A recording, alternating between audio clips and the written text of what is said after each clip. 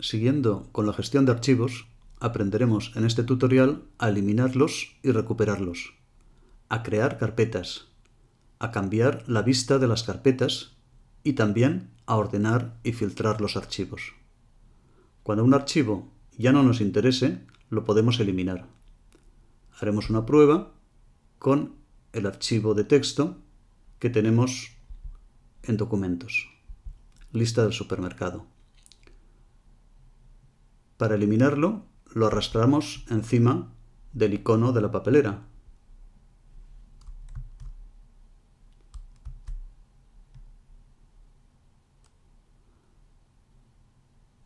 Si nos lo pensamos mejor y queremos recuperarlo, abriremos la papelera y lo arrastraremos a su ubicación original o a la que queramos.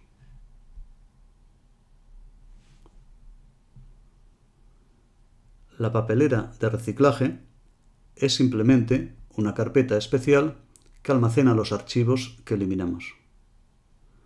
El procedimiento de arrastrar a la papelera es útil y rápido, pero si no la tenemos a la vista y queremos eliminar archivos con mayor control, es mejor usar el menú contextual. Hagamos la prueba con el archivo gráfico arte geométrico. Clic con el botón derecho y eliminar. Nos pedirá confirmación y al clicar en sí, el archivo irá a parar automáticamente a la papelera. Para recuperarlo, también usaremos el menú contextual. Abrimos la papelera, clicamos con el botón derecho y elegimos Restaurar.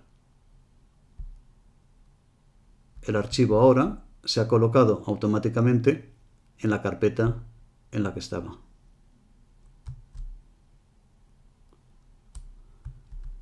Si hemos eliminado algún archivo del que queremos deshacernos definitivamente, podemos hacerlo eliminándolo de la papelera. Voy a hacerlo con este archivo que tengo en el escritorio, Top Secret. Lo elimino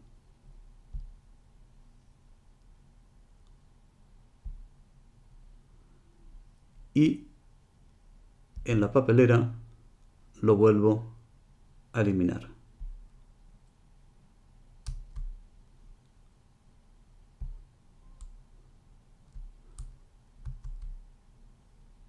Me pide confirmación y al decir sí, el archivo ha desaparecido. Aún podría recuperarlo con un programa especializado, pero no con las herramientas incluidas en Windows. Por supuesto, si vacío la papelera, eliminaré definitivamente todos los archivos que contenga. También hay que tener en cuenta que la papelera tiene un límite y una vez superado ese límite se irán eliminando automáticamente los archivos más antiguos. Si abrimos su menú contextual y de ahí sus propiedades, veremos el espacio que el sistema ha asignado a la papelera y podremos cambiarlo si nos interesa.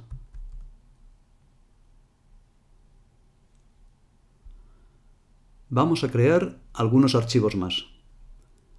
En el bloc de notas anotaremos algunas tareas pendientes que tengamos. Por ejemplo,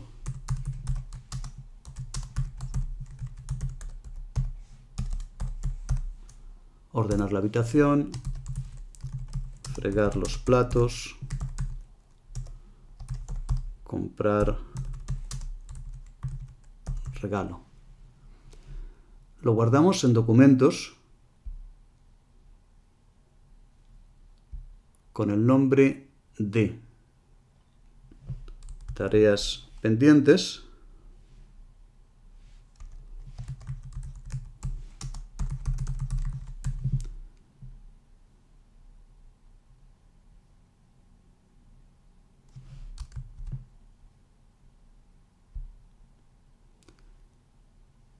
sin la extensión txt que ya la pone el programa.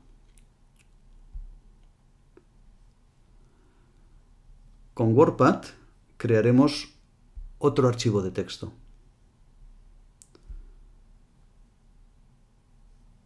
Una carta. Aumentaré la fuente para que se vea más claro. Queridos Reyes Magos, espero que no seáis tan tacaños como Papá Noel y me traigáis todo lo que he pedido. A la hora de guardar usaremos la opción guardar como del menú archivo. Como queremos un archivo de texto simple, elegiremos documento de texto sin formato, es decir, un TXT. La ubicación será documentos y el nombre le daremos carta. Por último, guardar.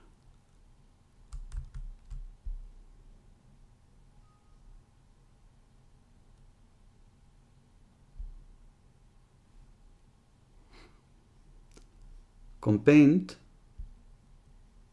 crearemos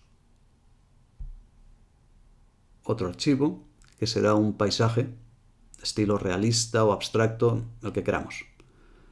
Elijo el color azul de primer plano para rellenar el lienzo con el bote de pintura.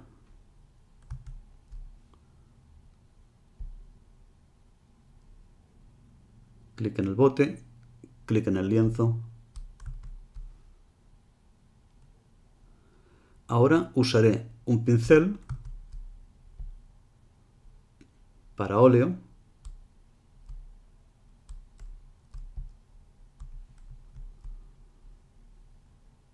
elegiré, elegir un grosor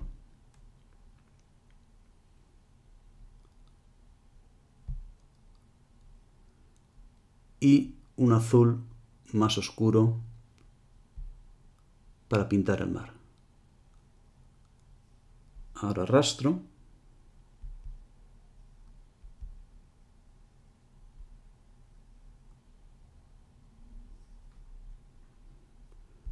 Y voy pintando el mar.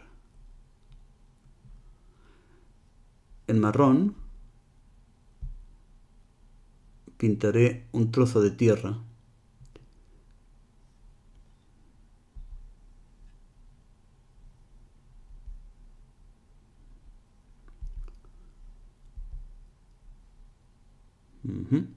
y cambio al color blanco y otro grosor del pincel para pintar unos barcos de vela.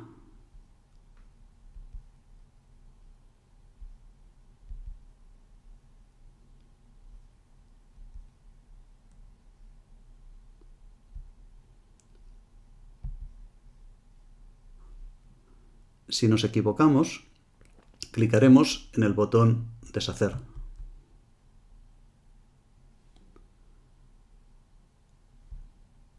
Iremos deshaciendo aquello que hayamos pintado. Y si nos hacemos un lío tremendo, podemos empezar de cero, creando un archivo nuevo desde el menú Archivo, Nuevo,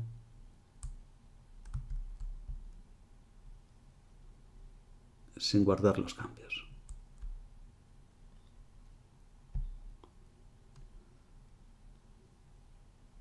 Bien, voy a pintar ahora mi paisaje rápidamente.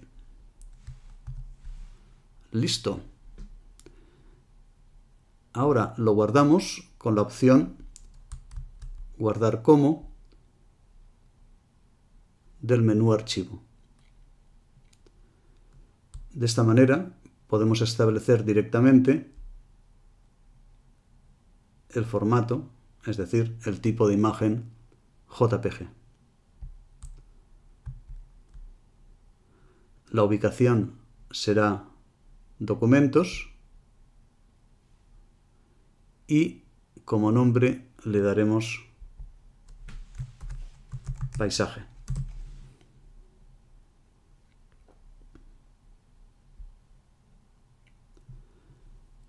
Cerremos las ventanas de los programas. Cerramos Paint, WordPad, blog de notas. Ya tenemos cinco archivos en documentos. Aprendamos a crear carpetas que nos ayuden a organizar nuestros trabajos.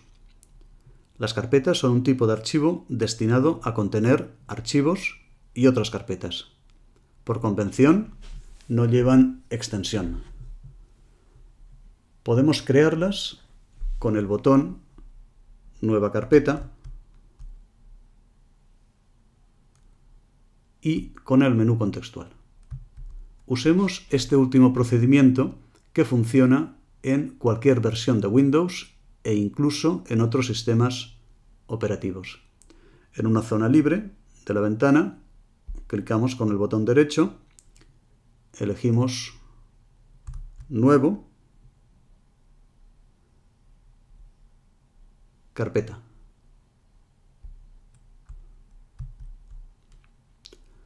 Una vez creada la carpeta, nos muestra un nombre provisional seleccionado.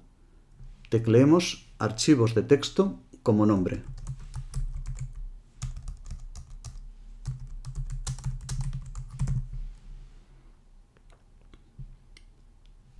Para acabar, pulsamos intro o hacemos clic fuera de esa etiqueta. Si queremos cambiar el nombre de la carpeta, lo haremos como con cualquier otro archivo, con el menú contextual.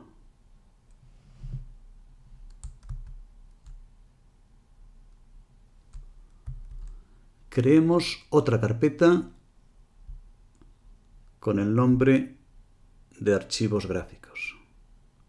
Clic derecho, nuevo, carpeta y damos el nombre de archivos gráficos. Bien, ahora nos centraremos en cómo podemos visualizar el contenido de una carpeta de varias maneras, mediante el botón Vistas.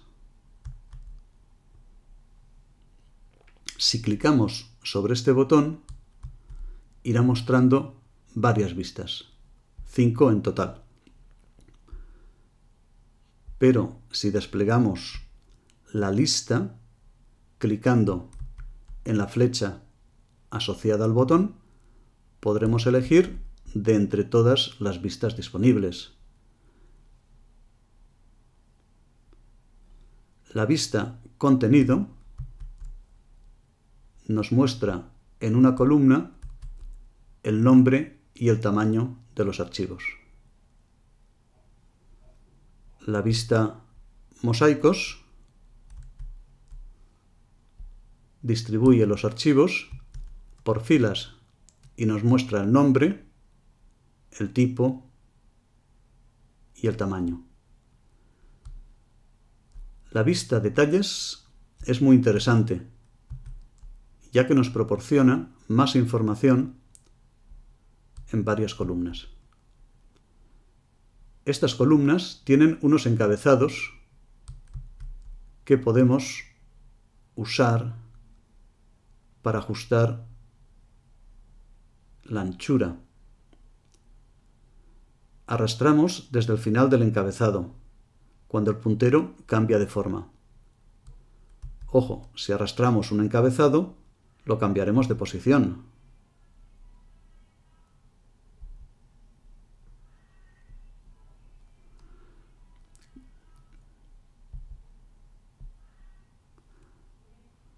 Con las vistas lista e iconos pequeños, solo veremos el nombre. La primera con iconos distribuidos por columnas y la segunda distribuidos por filas. Si elegimos iconos medianos, grandes o muy grandes, tendremos los iconos con su nombre en distintos tamaños y distribuidos por filas.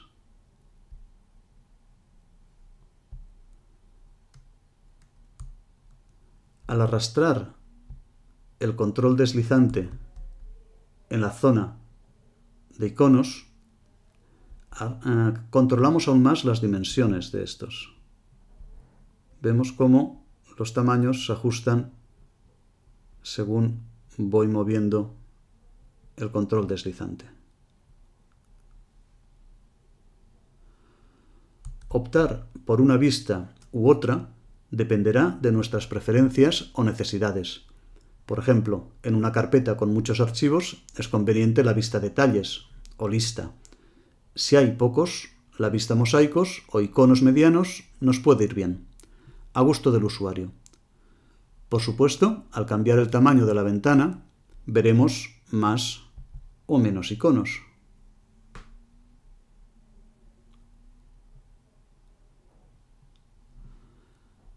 En todas las vistas tenemos en el menú contextual las opciones para ordenar los archivos.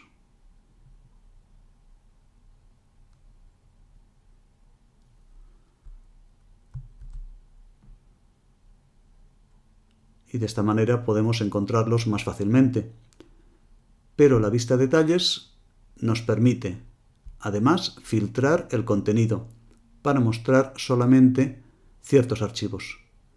Veamos cómo funciona. Elegimos detalles y al clicar sobre los encabezados de las columnas ordenaremos por nombre, por fecha, por tipo o por tamaño. cliquemos en nombre y obtendremos un orden ascendente. Un segundo clic los ordenará en forma descendente.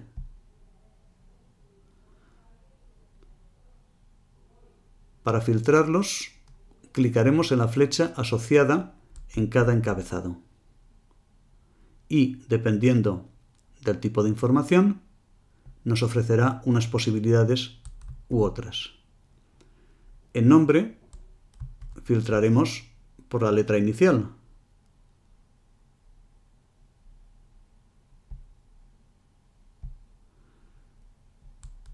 En fecha,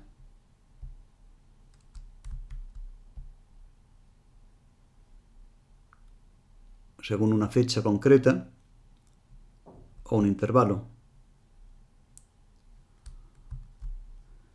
En tipo, según sea el tipo de archivo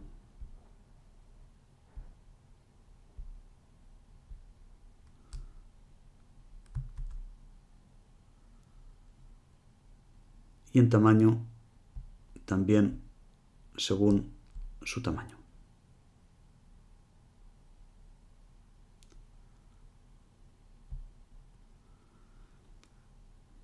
Veamos un ejemplo. Si queremos ver solamente los archivos de texto, filtraremos por tipo, seleccionando la casilla adecuada. Al quitar la selección del filtro, aparecen todos de nuevo. Vamos a filtrarlos de nuevo para ver solo las imágenes y las carpetas.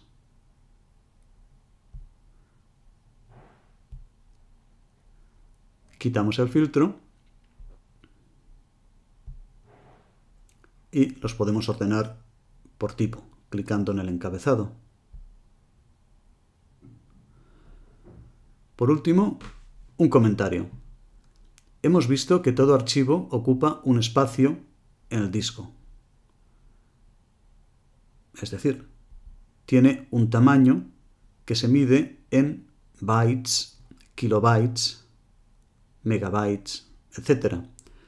Si esto os suena a chino, os recomiendo que veáis el tutorial Introducción a la Informática en www.rafarroca.net. No obstante, os dejo una tabla con las unidades de información. En el próximo tutorial trataremos la selección de archivos, tema esencial y el diseño de las ventanas de carpeta.